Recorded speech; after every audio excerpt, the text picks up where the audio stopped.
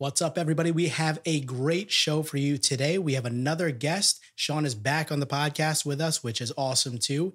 We are going to be talking about missionaries and art and beauty and college campuses. I have no idea what's in store for this episode, but it is definitely going to be a good one with a new special guest. So definitely hang tight.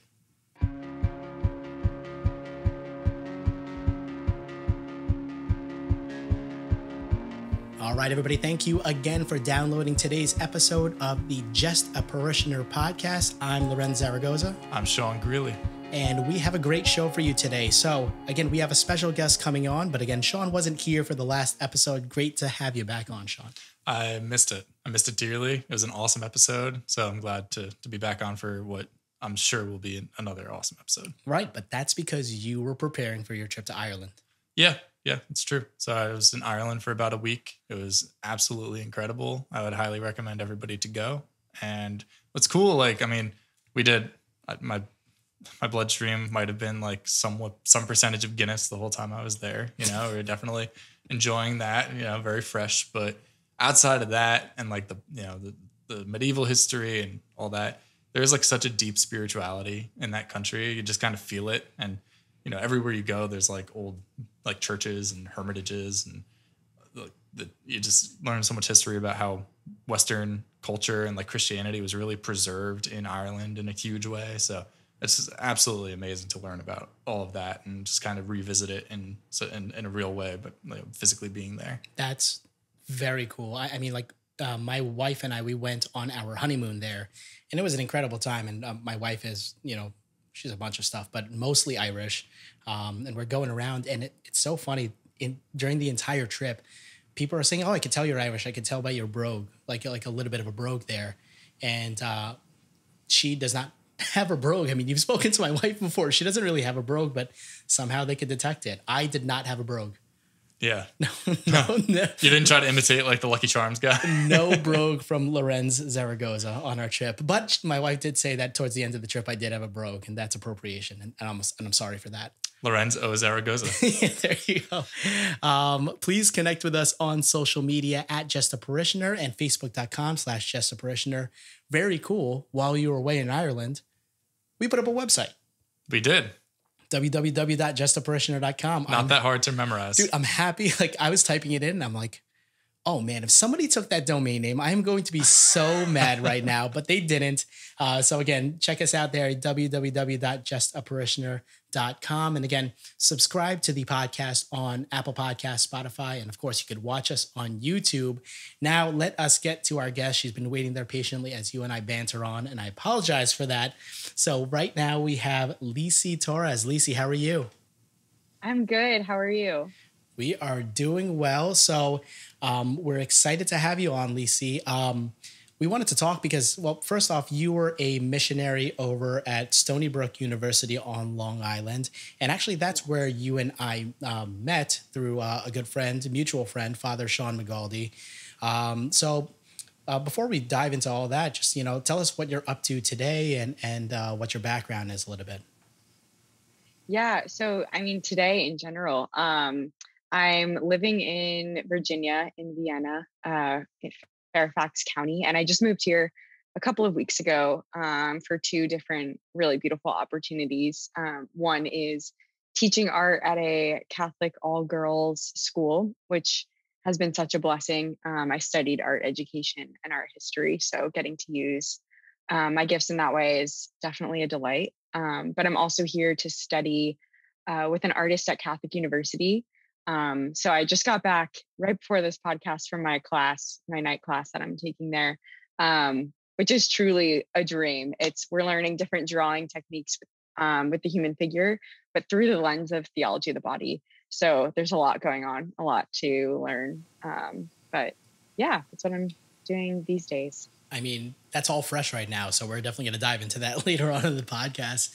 Um, so before, like like I said, we we we do want to talk about um, art, Catholic art specifically, um, the beauty of that. And I'm going to be very upfront, Lisi. I know nothing about it. Great. Um, great. So this is a great teaching moment, a great learning moment for me.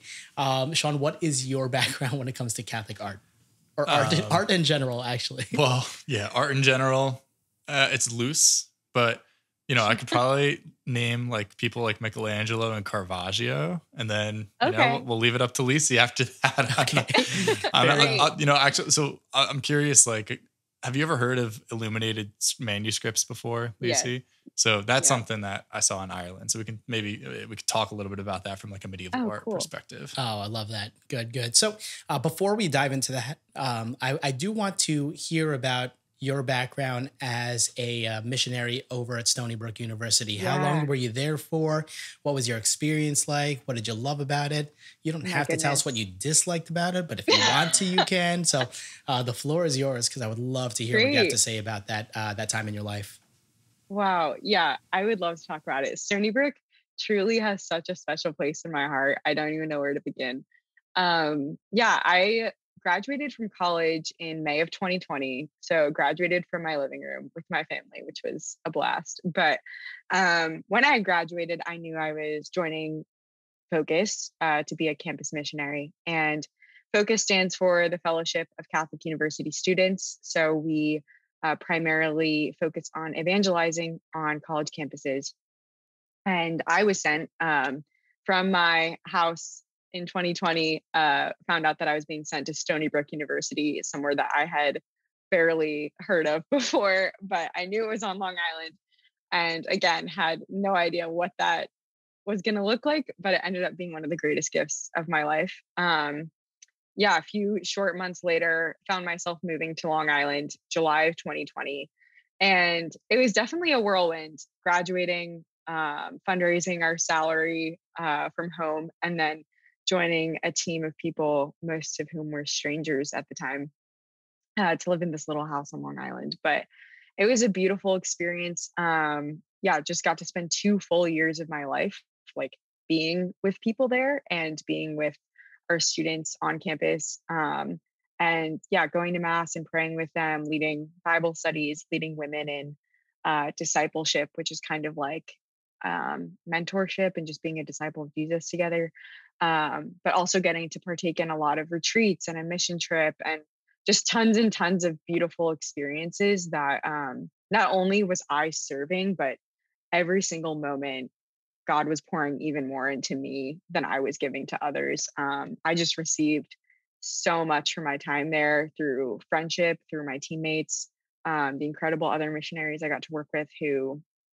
mean so much to me. Um, got to work with two amazing priests throughout my time. There was transition from Father Lachlan Cameron my first year to Father Sean McGaldy my second, and both are great spiritual fathers to me. So, uh, our wonderful campus ministers, I could just go on, but it was an incredible time, not only for me to get to know women and get to talk about Jesus all day, which was truly incredible, um, but also for Jesus to really be a missionary in my own heart and um, show me what needed uh, yeah what needed evangelizing within me and what needed to change and what needed uh, to be resurrected within me. So there was a lot that happened. I truly think i left long island a very different woman than the person that i arrived as but all for the better. Um yeah i truly think i've experienced like the deepest joy of my life there um through just being with jesus every day and my teammates so yeah Lisi, i'm curious gift. about like your perspective so you you're from Philly, so you're not like completely yes. foreign to the Northeast, but the people yeah. I know that have done especially focus work in New Jersey and New York, and particularly like the New York City metro area, which Long Island is part oh of, you God. know, they've found it to be like, I mean, it changes you in a good way, but it might be more of like a purifying by fire than it is anything oh, else. Yeah. So, oh, what, you, yeah. what was your experience with that? Like, how how was the mission experience in that capacity? That's such an incredible question. I remember leaving Long Island after my first year and going to focus training that summer before starting my second year, and people asking how my first year was. And I was like, the most purifying year of my life. um, yeah, I think so. Yeah, being from Philly, like sarcasm and, you know, people having walls up, that's not like foreign to me. Um, have experienced that a lot. But something in particular about the hustle of like the New York area. And um, I noticed that a lot of people put their worth in productivity and um, like busyness and it's constantly like achievement achievement achievement and where there are good things that come with being driven um, it can be very difficult when we're putting our worth in what we're accomplishing. So i think something that was hard was like coming to new york being totally new it being a pandemic and finding that um, a lot of people that you meet just have a lot of walls up. There's a lot of um not wanting to show emotion because emotions like there's like the lie that emotions make you weak or like even just practically speaking, like people being so busy that it's truly difficult to like make the time to get to know each other. Um, and for sure, like as a missionary, we were incredibly busy as well. But um, I think that was something that I was surprised by when I first arrived was how much it took to um yeah just find the time or find the space to get to know people or like how long it takes for people to trust you and um, that's not all to say like i i truly love the people that i met there so deeply and i'm so grateful for them. Um, but i think yeah being a missionary in new york it's just aside from like the people i was directly working with the the culture it's not a christian culture. Um like you you could get sent as a missionary two different part of the country where people say like God bless when you leave a restaurant. Um, but like that's not going to happen in New York. And um, that's yeah, kind of what things, I've always thought about it. Not to cut you off, but it's like yeah, you might be in an area where Catholicism isn't as big as it is in the Northeast, like cultural Catholicism and family Catholicism, yeah. but unfortunately most people i think if you are in like the cultural catholicism it's like yeah we, we go to mass like twice or three times a year and we don't really talk about it otherwise yeah. whereas to your point, in other parts of the country, even if they're like a Protestant or some other denomination, they probably talk very openly about their faith. And yeah. if they are Catholic, then it's probably the same thing. You know, it's it's a normal Absolutely. thing to share about. Yeah, if, if, I could piggyback on what Sean was saying, because um, I think that you know I'm always like thinking, you know, what if I lived in a different part of the country that that valued God a little bit more and and and valued Catholicism a little bit more, but there is something gratifying about having that challenge in front of you and trying to knock down those walls. And, and believe me, uh, I, I, think that people in other parts of the country have a different evangelization uh, hurdle mm-hmm. to get over, especially oh, in yeah. the Bible Belt when you're talking about, you know, trying to convert more Protestants as opposed to trying right. to uh, bring atheists uh, closer to God. So it, it's a completely different realm. Yeah. Uh, but there is something that that I enjoy about you know the challenge of hey listen I, i've got i'm going to live here my entire life I'll I'll say two words today. I'll say ten words tomorrow. I'll say I'll I'll say more paragraphs down the road, and just take my time and, and work on your soul while I work on mine. You know what I'm yeah. saying? So I I get it. Challenges and gifts for sure. Yeah, I definitely saw both of those sides of um, the beautiful parts of that, where like we had students um, converting to Catholicism, not even just having like a reconversion, but truly like converting and receiving sacraments. And it's almost like um, once people are bought in and they find the truth, they're like, this is incredible. Like I I need this.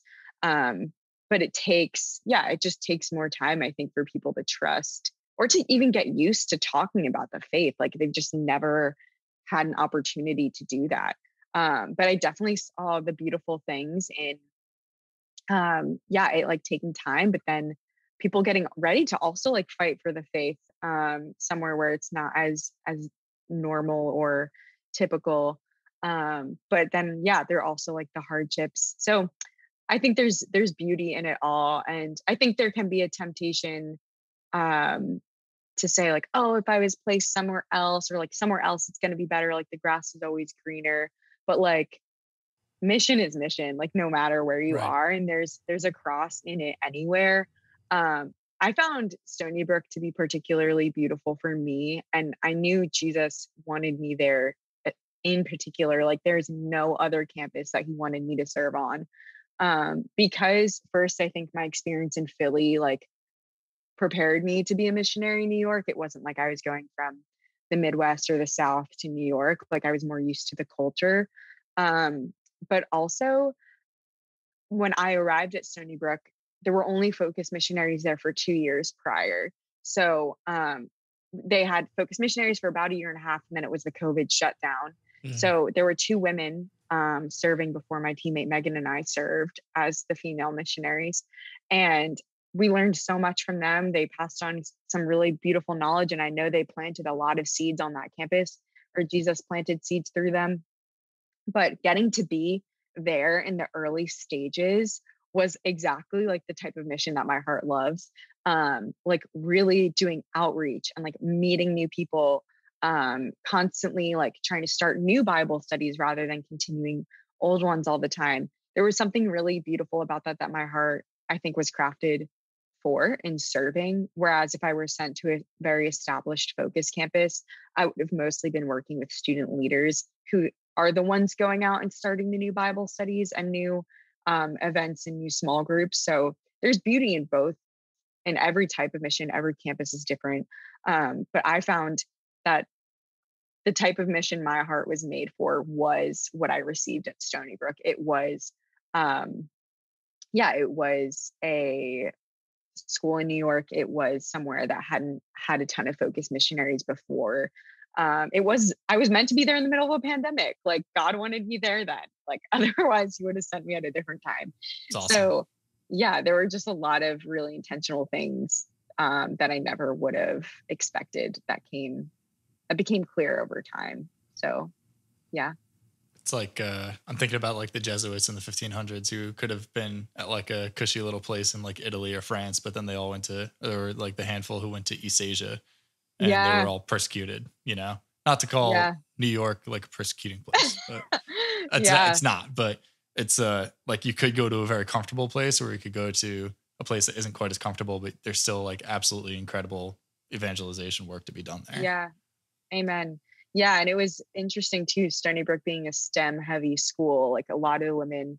Um, I never expected to learn so much about the MCAT, like until I arrived at Stony Brook and uh, all these like working with people in engineering and medicine and um, business compared to my undergrad, where there were a lot of more humanities and artists around me. So that was also interesting to bring my um, different temperament to to the community. But completely different sides of the brain at that point. I mean, that's Yeah. that's what you're working with there.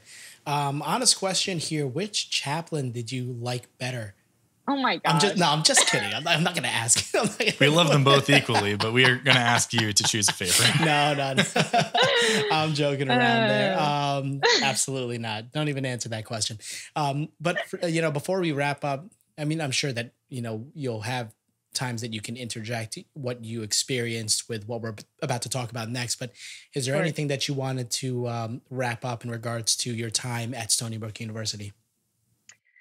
Yeah, I just don't think I'll ever truly be able to communicate like how much I received in giving God like a yes to serving for two years. Um, first, like how much I received from the Lord, but also like how much joy I received from the people. And I don't think I'll ever be able to like thank the people that I met there and got to walk with there and got to know and love. I don't think I'll ever truly be able to thank them enough. Um, yeah, the joy and the beauty, I I can't even describe. Um, I can't describe it well because it it's just beyond words. Um, but I think something I would say is if there is anyone who is like nervous to give God a yes to something crazy or what seems crazy or different or out of your life plan, like if you give God your yes, He's going to give you a hundred times more. Um, and yeah, I just, I don't know. I never expected to be where I am. And I know God used it so much and I just received so much. So just a quick word of encouragement to anyone That who is, might I be discerning mission work or something like that. I mean, I feel like that's every evangelization effort, you know, like what is Yeah. what is God calling you to do at that point? Um, but you know, specific to the missionary work, I mean, you did it right after you graduated undergrad. And Yeah. I, not that there's a, a better time or a worse time, but if I were to pick a perfect time, it's before you start your quote unquote career, uh, Mm-hmm. because it's you know before you jump into the i guess the working field it, it's much harder to break out of it um, Yeah. especially when you are starting a family if that's what God, god's calling you to do or i know a lot of uh, missionaries go into uh, the seminary and if, if, if that's the case then obviously you need to do your mission work prior to that so um, I'll say this though, like I, I used, I mean, I remember being an undergrad and like thinking about doing something besides going into career time, like after college. And maybe you can relate to it, Lisa. Like at that moment, you feel like there's so much pressure to just start the next stage of your life. Yeah. Mm. And that like you just think it's supposed to be this traditional, like, okay, I got Yeah. my degree and now I need to go get a paycheck and I need to work for the next 40 years. Like that's just what it is, you know? um, and I remember, I mean, I went, I went to seminary briefly, um, and I remember in that at that time, like l- while I was in, like looking at friends who like got mm-hmm. well-paying jobs out of college, and you're just like, man, I feel like I'm falling behind somehow. And it does take this like crazy radical trust in God to even just move beyond that mentally at Yeah. that time. Which I mean, 100 percent, like you're right, like that is the best time to do it. But in that moment, it's very difficult. But that's just like I, I think both of us can say like all the respect in the world to the people who make the decision to like find that take the time to discern that God is leading them in that direction and then give them like that yes that you and all the other missionaries and you know anybody else who's pursuing a vocation does like God, God bless everyone who does that it's it's really an Yeah. incredible thing Amen. Yeah, absolutely. I completely agree. Like it definitely um could, yeah, I, I mean, I think it it was easier for me to go in right from college than people who I know who left full-time salary jobs to then join Focus. Um but yeah, at the same time like telling people like no, I'm I'm going to freeze my teaching certification. Like I'm not going to pursue what I just spent a lot of time and money studying for 4 years mhm. um, I did get a lot of like, oh, a lot of interesting reactions. So um, I'm not going to go teach I'm not going to make any money also could you Can donate to my you salary give me money. Thank you. it is tax deductible, but please give me your donation. Yeah, exactly. Well, anybody anybody listening that is looking for a good organization to donate to outside of your local parish, like go to focus.org because I know there's always missionaries who are struggling Oh, with yeah. fundraising and they would love if you can throw them even like $20 a month. Something something Seriously. as little as that. Yeah this podcast you know, sponsored by stony brook university and focus right Yeah. Focus better share this. Yeah, Focus for better real. share this. I'm out here doing free fundraising for. no for real um but no first off thank you for sharing your time because i i you and i have been going back and forth offline and and that's i wanted to hear like you and i met for a little bit i wanted to hear your perspective on it and your story and you know our you know our mutual friend the chaplain over at stony brook actually currently father sean mcgaldy he had the world to say about you i mean you know he, oh, he loved his time with you and and he's like you, you gotta you gotta have her on the podcast i think she's got a lot of beautiful things to share so wow. um, that's phenomenal. So, and speaking of beauty, you see that transition, Sean. Nice. Speaking of beautiful and beauty, um, let's let's go into um, essentially your passion, like like what you studied, what your career is now, and if you could dive a little bit more into the next phase of your life, essentially. Yeah. Oh my gosh it's so surreal. Um it's so good for me to talk about to even process it but yeah so i departed from long island at the end of may and uh, moved some stuff back home to the philly area and um, pretty much was using like my parents house as storage for a lot of the summer. Um, came home and then pretty soon after hopped on a plane to study sacred art and Renaissance oil painting at the Sacred Art School in Florence, Italy. And that was a huge, huge blessing. Honestly, a dream come true um, to pursue sacred art. I've always been an artist um, ever since, yeah, I can remember I've been an artist. I think God just crafted my heart in this way. Um, but even in focus, um, tried tried my best uh, to continue to pursue my artwork um, as a missionary and there were a lot of challenges that came with that but when i was discerning leaving focus at the end of my two years i knew okay the lord is asking me to dive deep and open my hands and not grasp at um, creating my own plans or um, yeah controlling what my next step looks like but really try trust him and and take a risk here. So I had heard of the Sacred Art School years ago, had always had my eye on it, and uh, had the blessing of uh, being accepted to their summer program where I was there for about five weeks um, in July, most of July and a bit of June. And um, yeah, spent like every day pursuing what I love, which is drawing and painting, uh, but through a Catholic perspective, which is something I'd never experienced before. Um, and it was a beautiful time in Italy. I learned so much, but um, I had discerned that like my summer there was the uh, yeah, my summer there was beautiful, but God was um, inviting me to come back home afterwards. So I came back home.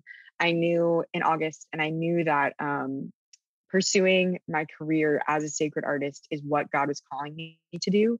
John Paul II's letter to artists has really inspired me time and time again, where it's it's pretty much like calling artists higher and asking us to really dive in and dive deep and use our gifts for the church. Um, so I knew I wanted to do that, but I had no idea how God was going to provide opportunities to keep learning. Um, I could talk about this for hours, but opportunities to keep learning because I think a lot of contemporary art schools uh, lack a lot of foundational uh, skills in terms of anatomy and realism. Um, so I knew I wanted to keep learning, wanted to keep creating, um, but I also knew that that that doing that full time just wasn't feasible off the bat. Um, so, so, so if I can, if I can jump in here, uh, yeah, in there with a question. Um, again, you're talking about somebody who's never studied, uh, you know, a minute of art in his entire sure. life. sure. Um, but if you can, if you could break down what what you think the difference between just art in general and the beauty of just traditional art and and Catholic art, and distinguish you know what you feel the difference is between the two of those or how would you describe that? Yeah that is an incredible question that i've actually been pondering and haven't totally found the answer to um, because i think any art i mean any art created by a catholic should be catholic art and it doesn't need to be explicit eh, at all but um you know, our first identity is being a, a son and daughter of God and being a Catholic. Hmm. Um, and then comes my role as an artist. So like I, I'm a landscape painter at times, and I I truly believe that every single one of my landscape paintings um, is a Catholic work of art because it's inspired by God the Father. Um, however, I think there is a much a more clear line between there is a very clear line between art and liturgical art or sacred art so um, liturgical or sacred art um, i might botch the definition but pretty much um, it's always meant to point point our gaze towards the divine um, and it's never meant to glorify the artists themselves it's never mm. meant to glorify any human being, but truly meant to point our gaze towards God. So, um, yeah, like sacred art is the Pietà, you know, like it is, it is Mary holding her her son, um, things like that. So if it's pointing our gaze towards God, then it's sacred art. Um, otherwise, it is art that might have Catholic components, it might have Catholic themes, it might be made by a Catholic, but um, sacred art in itself is really all about where is our gaze pointed to. Um, and something that I've really thought about lately is that calling something sacred art, um, we shouldn't use that phrase lightly. Mm. Um, mm. If we're going, yeah, if we're going to glorify God, um, it takes a lot of intentionality.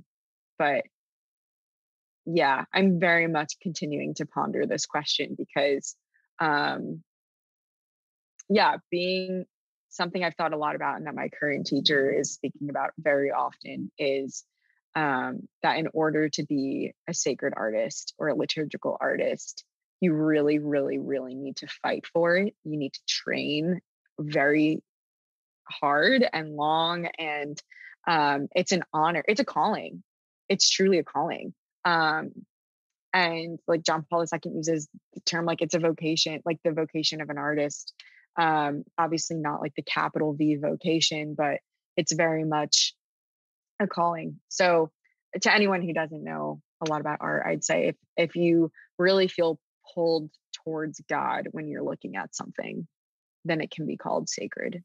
I think like I'm th- I'm just listening to you talk and like the difference you said even between like you're a landscape artist and you might paint a landscape that's showing like a field or mountains or something to that degree. Mm-hmm. I would imagine that's what you're talking about. Um, and in that, like hundred percent, like you have this installation of like trying to trying to portray grace through like a natural landscape.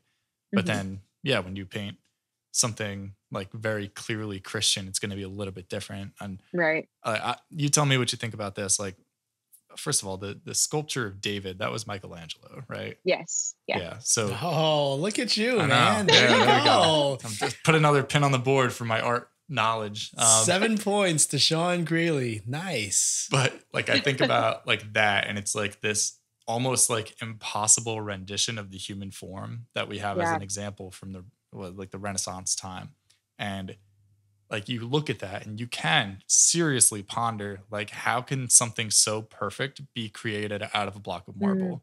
and that mm-hmm. can lead you down maybe partially what michelangelo was trying to do is like allow you to think about like you look at yourself and the people around you and you're like how can something so perfect be in existence like in this 3D world that I'm in you know as as a human being like this perfectly like functioning machine or anatomy or whatever you refer to it as so that's one thing like that's Michelangelo and you can ponder that and you can like pray and meditate on that but then you have something like Michelangelo's Sistine Chapel painting the roof of the mm-hmm. Sistine Chapel and you're like the ceiling. And it's like, that's very clearly, I think, maybe that sacred liturgical art that you're talking about, where yeah. it's like, you know, it's supposed to like literally draw you into the heavenly just by gazing upon it. Yeah. Oh my gosh, this could be like an entire PhD because um when you think about Michelangelo's David, like that is an Old Testament story of like David and Goliath. Um, so is that Catholic art? like that could be a whole conversation That's in itself um but yeah like i i would agree that when for me personally when i think of the sistine chapel i'm like amen sacred art right there and when i think of david i think that's kind of more of that in between of um yeah it's it's i wouldn't say it's instantly pointing me to the divine but I could also be convinced that it is. So that's a little more gray. Um, I'll leave that to the art student over here. Yeah. but um, yeah.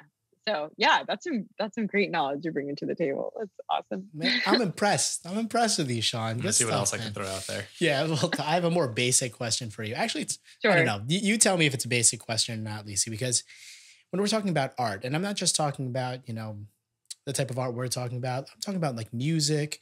I'm talking okay. about um, yep. film. And when you call something, you know, I was listening to Bishop Barron talk about this. When you call something Catholic, whatever, mm-hmm. the the question you have to ask is what is being sacrificed when we call something Catholic, whatever, because very few times are, are we able to see something Christian or Catholic, especially when it comes to film or music, and say, this is great. It's clearly intended to bring me closer to God, but I feel like they're they're kind of shoving something down my throat, right? I feel mm. like they're mm. they're pushing something onto me right now. And believe me, it doesn't just happen with Christian and Catholic art. This happens on the opposite side of it. A lot of secular stuff where we're watching something on TV and we're like, man, I would love if you were just entertain me right now as opposed to pushing this message, whatever yeah. message it is, pushing this message on me because you're losing me now. Yeah. Now I've lost yeah. you. And that's not exclusive. Like, so that's what I mean. Like, so like where where does it fall where all right, I'm trying to create this sacred piece right now. I'm trying to create this sacred art, but at the sacrifice of what? Like, is it beautiful because it's just beautiful, or is it beautiful because it, it's quote unquote Catholic or sacred or liturgical? So, if you could speak to that.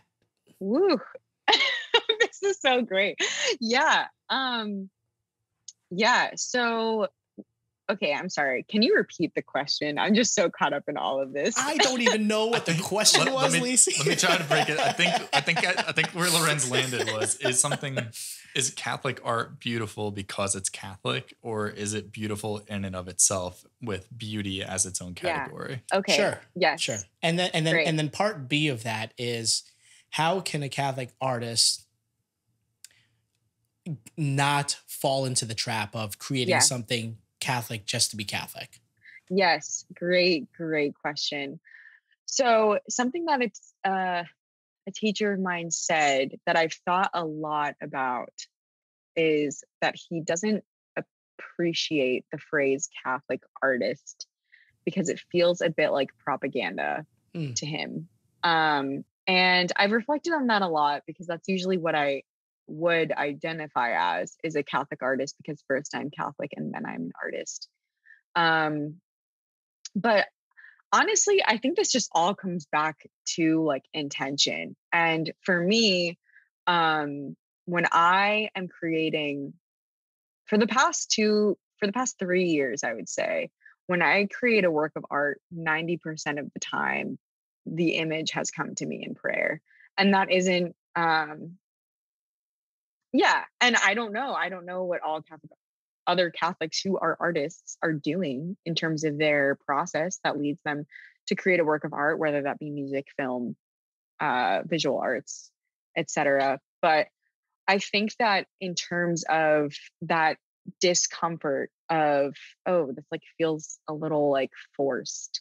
Um, I think it really does go back to intention where it's am I creating this um, to kind of like check the boxes and make it appeal to my viewers who are Catholic?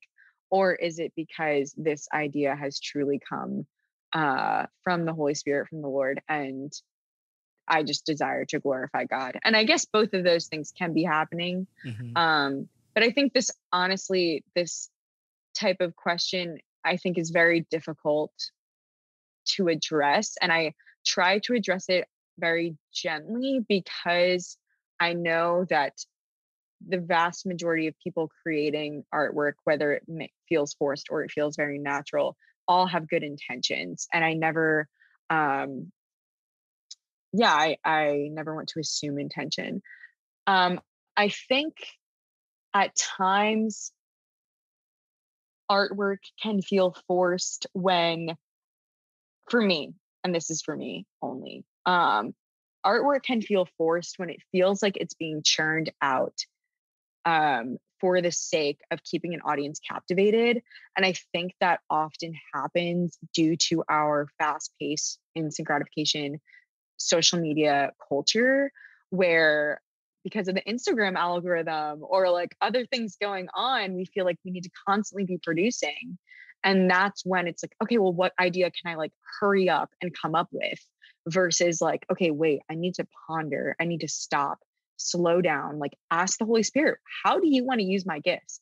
And that's personally just my experience because there have been times where I have been incredibly tempted to move in the direction of I need to produce more, I need to produce faster, I need to keep my audience engaged, or oh no, I'm going to lose them. And then what? Um, so I think that's something that I have thought a lot about since um, about a year and a half ago is when I really started to share my art with the world um, on different social media platforms because before I kept a lot of my artwork very private. Um, it, yeah, and then I just felt called to share. So since then, I've thought a lot about like, okay, I need to slow down. I need to ponder my intentions. I need to ponder my concepts and um, things like that. So yeah, I think it's um, I think it really goes back to the artist in terms of asking the question of is this uh like feeling forced like is this forced? Is this organic? Um questions like that. So as you're talking, something that comes to mind for me, like uh, we have um, one of our mutual friends works in music production for a Christian artist, um, and is working with kind of like an up and coming Christian artist and trying to help him like popularize and everything. Mhm. And he writes this awesome, really, really, really good music that is like incredible and very much seemingly ordained by God, right? In some Mhm. capacity, right? Like is is really communicating a great message, but like he's trying to get on the radio to get big so that his music can make it out there and I think we at least I've heard like he hasn't put out a radio song, like a song that's going to appeal to the masses in a way that it's like Mm, this is something I'm I'm going to love.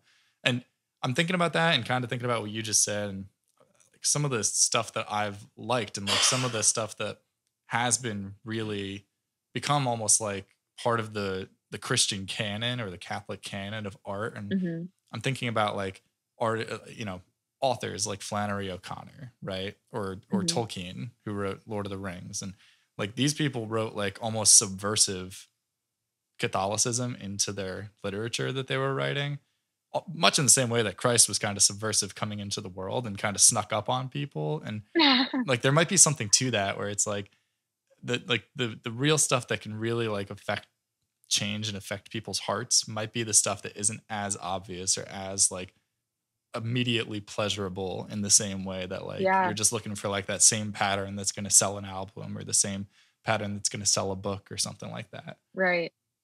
Yeah, I think that's something that is a very difficult dilemma that artists face often. And I have talked to multiple other artists, musicians, you know, the general arts about this because, um, yeah, like uh, in terms of making a living, it's it's hard. It's like I'm not a full-time studio artist and um it takes time to get there and it's like okay like should i try and get on the radio so that i have the income so that i can like quit my day job so i can continue to ponder these things and create more like ordained music or works of art or whatever. And that's like a very difficult um dilemma that i think a lot of people face. Um yeah and is it's i was just speaking to someone about this today actually um how i'm trying to be very prudent in what i'm um sharing because i recently um like for example i recently designed journals with my artwork on them and i like them and they're pretty but at the same time i'm like okay i like these. However my end goal is to be a fine artist.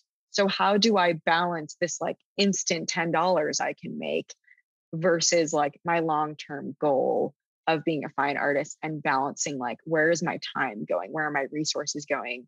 All of these things. It's just a very tricky dilemma and uh, you know no one's path is going to be the same. So um yeah it's kind of it's kind of tough to say what people should do in these situations because it really varies So, so uh, I'm sorry. Did you want? To- Well, no, I was just gonna say, I think you know what you said before, Lisi, is like you you take time to try to pray and discern what what God is leading you. Like you said, like ninety percent of your art has coming from has come from prayer, and I Mhm. think that if people can give their time to prayer, like God, God's not going to steer you wrong if you're genuine in your prayer and you're, you know, take time to discern that what is coming to your heart is truly coming from God and isn't some kind of other spiritual force. And like that should steer you in the right direction, you know, most of the time. yeah, Yeah, God I have a- Amen. I mean, speaking to that, I have a very tough time doing that when it comes to discerning. I mean, I'm, I'm sure I'm not alone with that. I'm, t- I'm speaking very confidently, but it's not.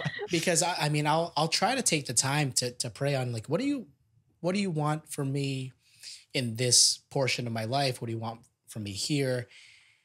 And I listen, right? I'm putting that in quotes. I listen, and then I kind of uh I kind of go back. I'm like, am I just listening to my own thoughts? Am I listening to what I want to hear? And and and that's a you know a easier thing to say than do. Uh, but I think you're right. Genuine in your prayer and, and, and doing it more often, and you're not going to get an answer the first time you pray. Mhm. Uh, but Yeah. that's that's that's tough. That's tough, and I'm imagining that's uh, kind of what you're you're torn with also. But um, if you could actually speak to like it's outside of your quote unquote career or your job right now, but you're you're also s- focusing on your own artwork as well, Yes. and you have your own venture going on as God. well. Yes, praise God. Yeah. Um, sorry, was there a question with No, that? no. See, I keep, Tell us I about keep, it. Lisi, I keep talking and not actually asking a question. So No, my question great. is if you could actually speak more to Sure. you know Oh, what would what you're to. trying to do from from that perspective of your own Yeah. personal artwork. Wow, this is such an honor to have a chance to speak about this. Um yeah, praise God. It's been it's been an adventure and it is something that I never ever ever expected my life to lead me to because I am one who has loved safety and predictability and this is the least predictable career path I could have taken. but all that to say, um my personal art um yeah, it's it's in a very uh I would say almost like contemplative season maybe um yeah where i have i spent the summer like i was saying in italy um studying and really thinking about okay has my art this has been a huge question for me. Has my art gone in the direction that it has due to my lack of training in technique? Because modern art schools are often moving away from traditional technical teaching styles to abstract contemporary um less structured styles. To be clear by that, you mean like throwing paint out a canvas and being like, look at that, it's art. i mean you could say that um and i and I loved my undergrad. I loved what I learned. I learned a lot about how to control oil paint, how to work with oil paint. Um, however, I did, um, yeah, I did find that in terms of understanding the human figure, I lacked knowledge about that. So my art kept moving in this direction where I was um, using, um, yeah, I was doing a lot of landscape, which I still love, but I also was kind of using more abstract figures, not because I necessarily wanted to, but because I truly didn't know how human anatomy functioned. Um, so that's what the main reason that I went to Italy um, was to learn that the school I went to was very technical. It was a Renaissance style school. It was very much focused on the human form. Um, and when I came back, I was like, oh my goodness gracious, I just learned so much. Like, I am hungry to keep learning. I need to keep growing in this. So I think recently my art practice has had a lot of changes happening because I'm in a season where I'm very much learning. Like these days, I'm drawing a lot of, um, yeah, a lot of figures working with models in my course and a lot of studying skeletons and muscle and their placement and how they interact with one another. So I'm not painting a lot these days, which is very hard for me, but it's it's good for me to go back to the basics. Um, but anyway, all I have to say, my art practice, I'm an oil painter. I love oil painting. Um, I've always loved to paint, but I started using oils my sophomore year of college and have just never picked up another type of paint since. I just love it. Um, it creates such beautiful color and texture and vibrance and life. Um, I don't see myself really steering in any other direction. Um, but What's a, what's a good example of like a famous oil painter? Was that this kind of stuff that was used in like the Renaissance, or is this more Yeah. of like a Yeah. So most of the paintings you think of are most likely oil. If you're thinking of like a church painting where it's probably a little faded, that's like um fresco, tempera. But um those like vibrant like Caravaggio, like that is oil. Um yeah, so pretty much the Lord has just invited me to keep diving deeper and deeper into my gifts as an artist and that's where i've been learning a lot but i've also been creating a lot um and yeah I, it began i really began diving into like my independent art practice as elisa maria torres it's my full name um two years ago and um yeah my dear friends in new york uh from art house 2b they're in manhattan uh, they put together really cool catholic art shows and events for Catholic creatives. And one of my friends who runs it um, invited me to bring some paintings to one of the shows and hang them. And Oh, at this point, um, it was October, my first year as a missionary. I hadn't picked up a paintbrush in like five months, and I was aching because I just didn't know how to juggle being a missionary and being an artist. And um, her inviting me to that and asking me to bring my art and share my art again and be in an environment with other creative people after being spending past month at a STEM school um, really reignited that fire as an artist for me. And from then on, I said, okay, I'm sitting down, I'm looking at my schedule, I'm carving out art time, I'm exploring, Lord, now that I'm away from my university where I had all these assignments, like, what do you want me to create? Like, what, what, who am I as an artist? What does my art practice look like now that I'm not just completing assignments? Um, and it began with a lot of, um, yeah, I did an image of Divine Mercy with Jesus, and I had a painting of Our Lady of Guadalupe, um, and was just kind of contemplating what does it, again, asking that question like, what does it mean to be a Catholic and an artist? And how, as a missionary, am I an artist? And how am I actually a missionary of beauty in this world?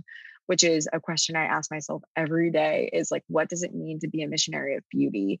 Um, I've never, I've never heard that phrase before. Oh my until gosh. you just said that. New favorite phrase. I, I personally like, rather than saying I'm a Catholic artist, I say I'm a missionary of beauty. I think our world lacks beauty so much. We have so many like images constantly thrown in our face throughout the day, whether that be through like advertisements and our phones and like just constantly being on screens and like the visual noise in our lives is so intense.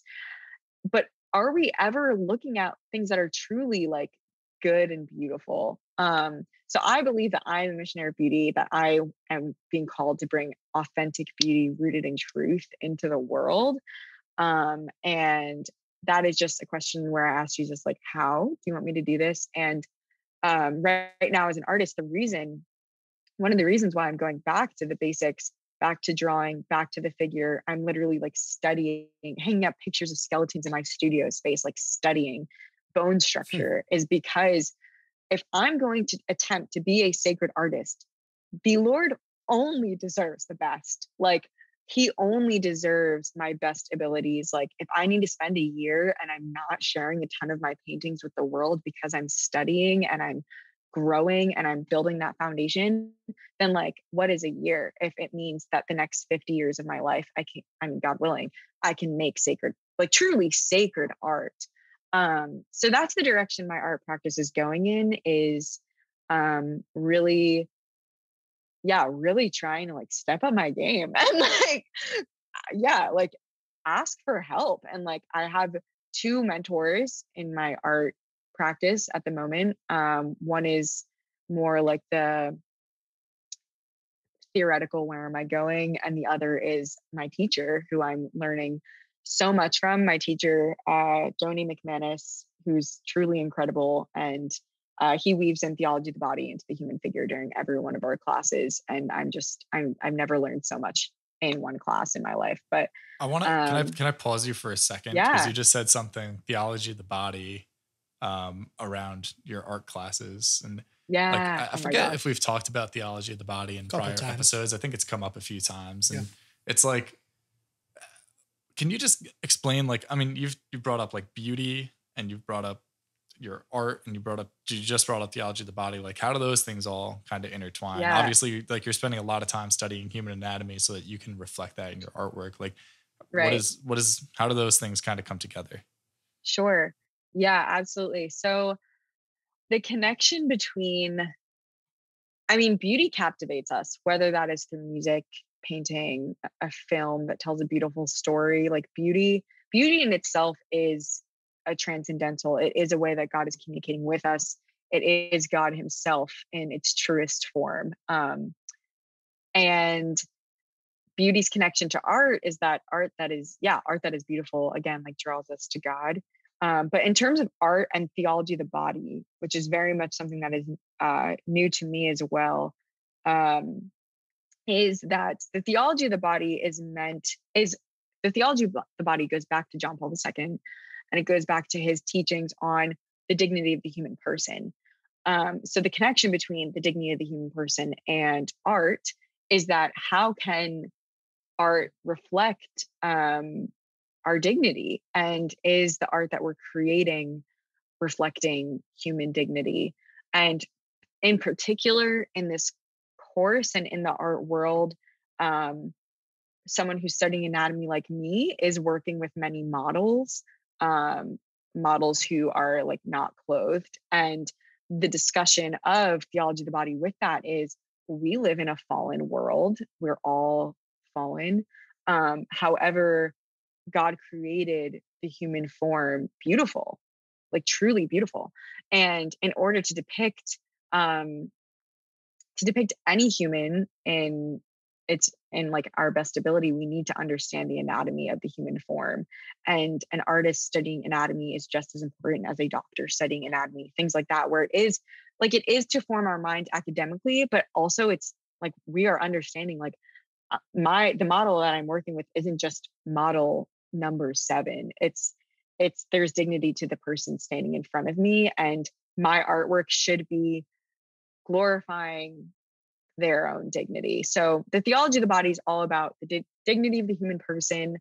Um, it is about human sexuality. It's a lot about, um, yeah, just what we're made for and how our fallen world has uh, distorted our view of sexuality and our view of our bodies um, and the beauty of our bodies. So all that to say, um, my art being connected to theology of the body is pretty much me under learning to understand what we're truly made for and how we are made and how we are made beautiful um, and how can i as an artist show my viewers like or invite my viewers to contemplate beauty and humanity and the dignity of the person that they're looking at. So it's a very um, complex it's simple but it's complex and it's definitely high level discussions in in the um in like the catholic art world you could say um yeah i think like I will, part part of why i piqued my interest i guess was kind of like the whole like i mean you see a, a lot of like renaissance age or like even pre-renaissance age paintings that do depict the body in like nudity right whether it's mm-hmm. male or female and it's like you look at that and you don't see it as i mean a lot of people do like see it in an immature light and like oh this is like they view it in like a strictly sexual way and oftentimes mm-hmm. like an inappropriate sexual way but i think most people and especially like a mature view of that would be like this is like an, a cool like a say cool because i'm in the 21st century but like a beautiful representation of like um humanity and kind of in the sense that you're talking about it in like a more reverent way that you can yeah. approach it.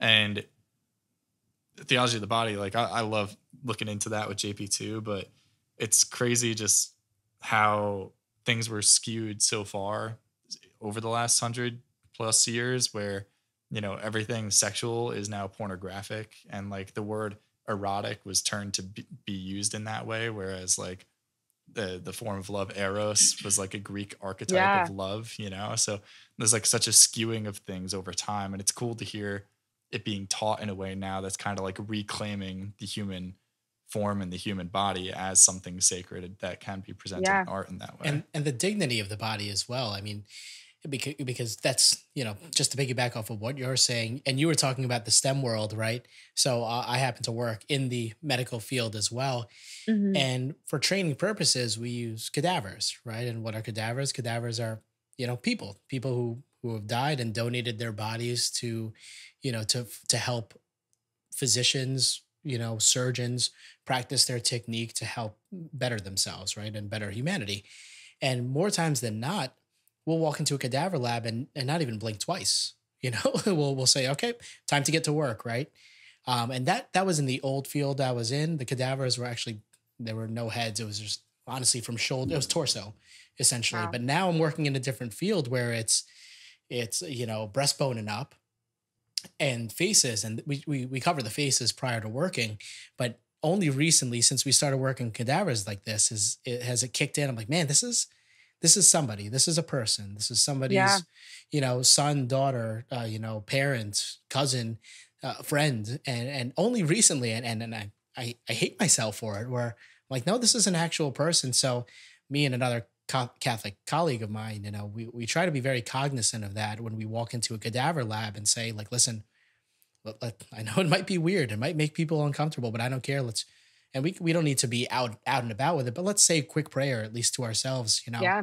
uh, for, for for this person, and and to save essentially their dignity. Hmm. Um, Yeah. So you know, it's like I said, art, the STEM world. You know, it, it's all theology of the body. It's all regarding that dignity of, of that of that Right. human form, that person. You know, um, and just to um, you know, to to put a bow on things, Lisi, and and again, I'm not trying to rush conversation because we could talk for the Mhm. next 45 minutes if you have a lot more to say.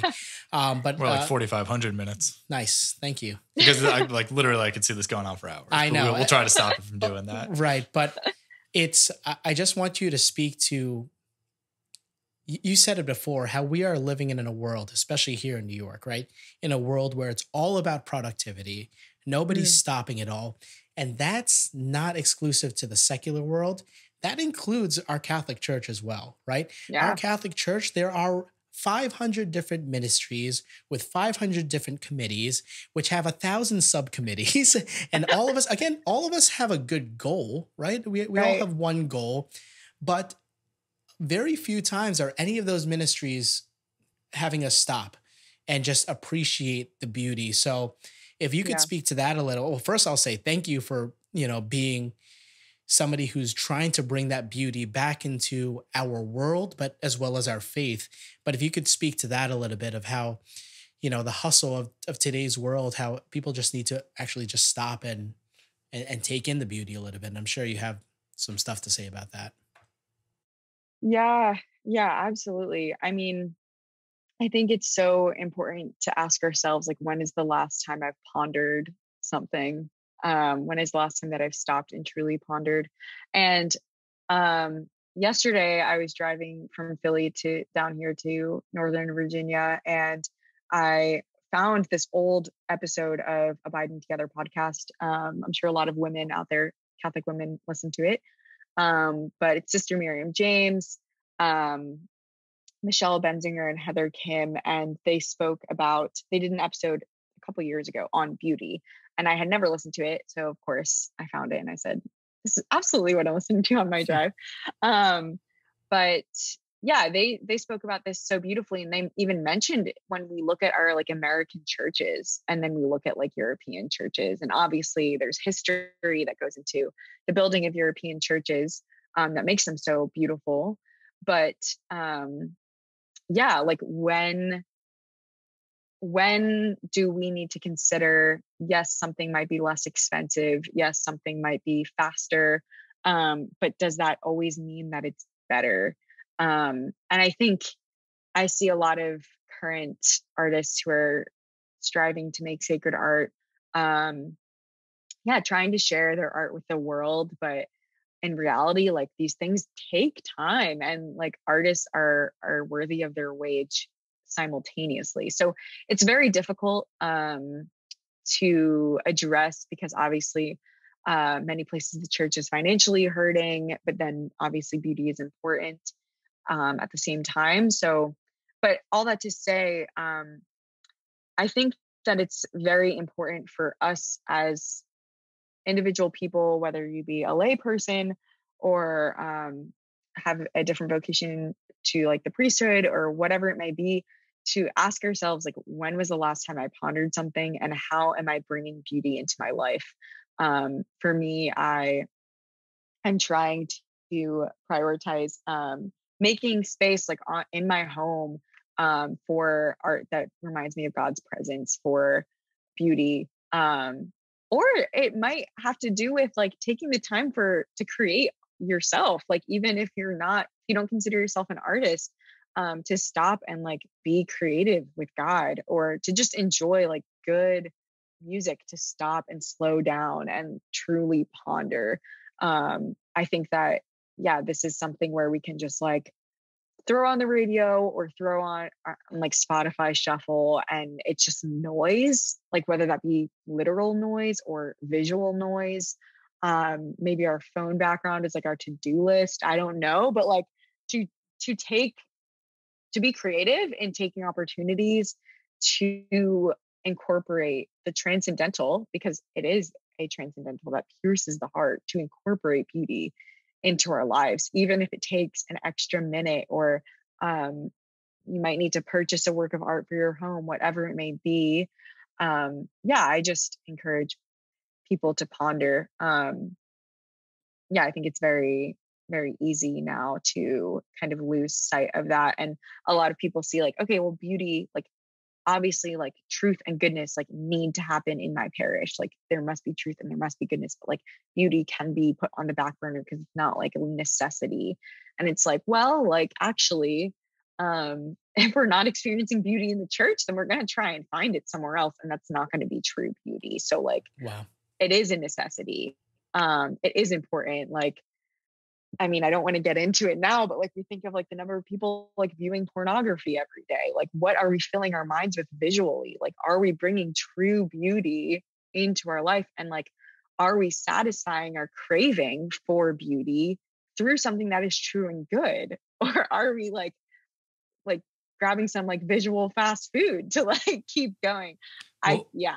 Oh, so, I, I, one thing that is just sticking out to me as you're talking is something you didn't necessarily say, but you said it without saying the word is sacrifice, I think is necessary mm. for beauty in a lot of ways from what you're saying. Like you used the example earlier of like, I'm going to have to take a year to study if I ever want to create something that's worthy of God. And it's like, mm. I, you know, like you said, like some people might want to just produce, produce, produce without taking a minute to reflect on what they're producing or how they're producing it because it's expeditious and it's profitable, et cetera, et cetera, et cetera. And use the example of like these, you know, medieval to, you know, Gothic European churches versus the churches that we have in America. And God, if you don't take anything else out of this episode, please just never let us repeat the mistakes of like the 60s and the 70s as far as church yeah. architecture goes.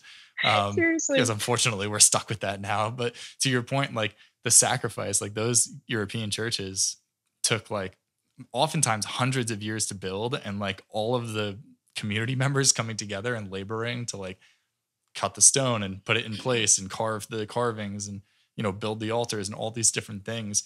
Whereas it's like all right cool we can throw up some drywall and some asbestos and it'll be done in like three weeks and then we can yeah. hate ourselves for the next hundred years you know?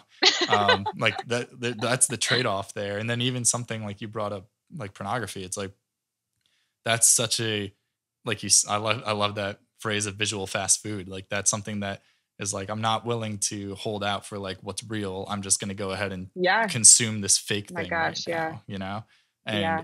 you know, there's a sense of discipline and sacrifice that needs to come along with it if you're actually going to be in a position to pursue what is actually that transcending beauty that you're talking about. Yeah. Yeah. Oh my gosh, absolutely.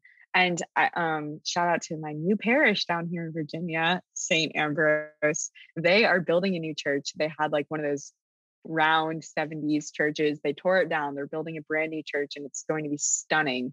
Um, but they just announced this past week that they, um, I'm not sure if it's going to take more time, but they are fundraising more to bring in a company that's going to do a lot of stenciling and, yeah, just a lot of painting and beautiful artwork in the church um, to make it yeah turn our gaze towards god and i just love that like and and you know that goes back to like us we are the church like are we giving like are we tithing are we um donating or like commissioning if we have the means and you know that that's easier said than done but like i don't know um i i know of a parish in louisiana i saw that the parish came together to fundraise for um, an artist to to create a work of art of the patron of their parish. So it just it takes sacrifice, like you said, and um, oftentimes that can be it's it's not that simple, but it's important. And um, yeah, yeah, like you said, I hope I hope we all move forward with beauty in mind and not the fast beauty of like what's trendy right now, but like lasting beauty. So yeah. I love it because you know, every episode, I feel like we there's some kind of theme of just like stop and pray. You know, that's what we have to tell ourselves mm. to do. Just stop and pray. But what I'm taking out of this episode is obviously prayers obvi- super important. But maybe take out of this episode, stop and just take it all in. Like yeah. stop and, and, look around and and I'll I'll I'll take your word, Lisi. Stop and ponder. You know, when was it like we, we we might be praying, but are we actually pondering? And that's something that I definitely need to do in my day to day for sure. Um, so wanted to thank you for that. Um, first, first I'll say if if you have any last thoughts, I would love to hear them. And uh, but second, where can everybody find um, any art that you're putting out there? Sure. Wow, it's such an honor to be on this podcast. yeah, thank you for listening. Um, yeah, my my Instagram is Elisa E L I S A dot M dot Torres T O R R E S.